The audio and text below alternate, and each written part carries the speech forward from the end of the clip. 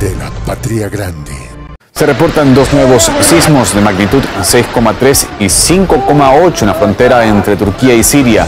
Los medios reportan al menos tres muertos y varios inmuebles destruidos, aunque de momento no queda clara la dimensión de los daños. Además, ya aparecen informes sobre varios heridos a causa de infraestructura colapsada. En la provincia turca de Hatay, reportan cortes de electricidad, mientras que las réplicas del sismo fueron perceptibles en Israel, Chipre y Líbano. Los nuevos movimientos sísmicos tienen lugar casi tres semanas después de los fuertes terremotos que dejaron más de 40.000 muertos en Turquía y Siria.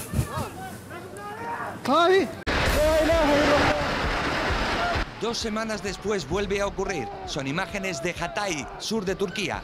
Un nuevo terremoto de 6,3 grados de magnitud sacude la región, derrumbando algunos edificios.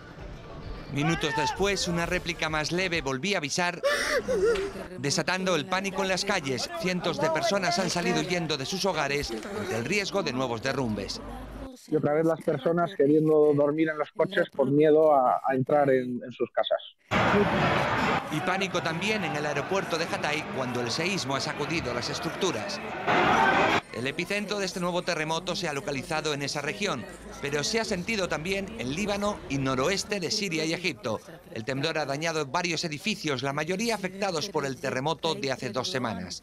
No hay mucha diferencia con el que hubo hace un par de semanas, pero tampoco quedaba mucho ya por caerse, en la, sobre todo en, en, en Antioquía.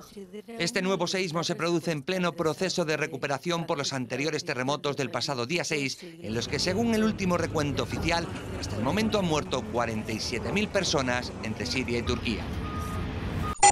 Voz de la Patria Grande.